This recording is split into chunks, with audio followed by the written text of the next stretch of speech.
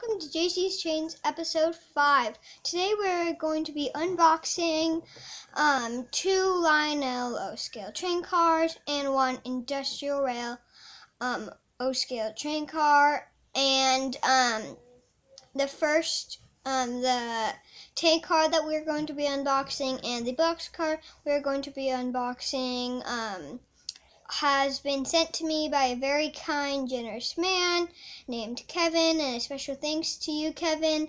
So let's get unboxing. Our first train car is a Lionel um, O-scale um, Pennsylvania train car.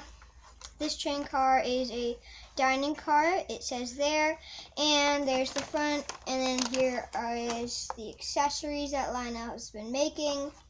And then there is the back accessories that Lionel has been making. So let's get on to the next one. Our next one here is a Lionel O-scale um, box car. And there's the top little engines that Lionel is selling.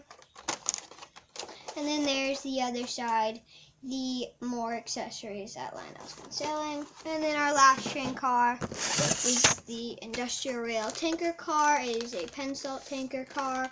And there on the top, it says, um, there's the top. And then here on the back is the features that industrial rail train cars have. So I'm going to do it in order from the first one I started to the last one I did unpacking. Here it is the um, Lionel Pennsylvania train car. So I am going to unpack it.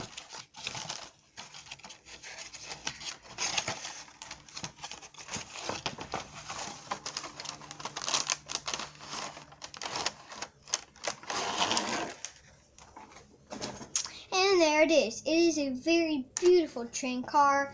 It has very little people inside the windows and it lights up. It has really nice details on the top and it has rollers on the bottom so then it gets power to light up. If you would like to learn about how it lights up and the power comes from, watch my other episode episodes. And um, here is the box car and going to unbox it right now.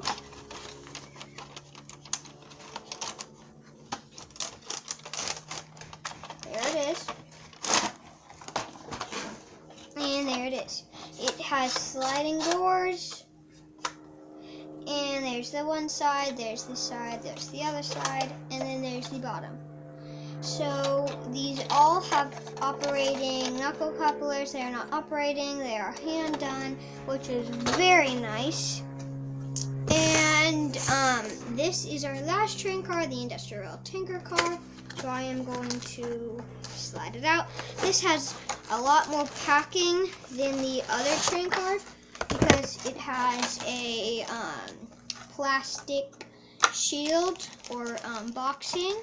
And then it is lastly covered in a bag. So I'm gonna slide this out.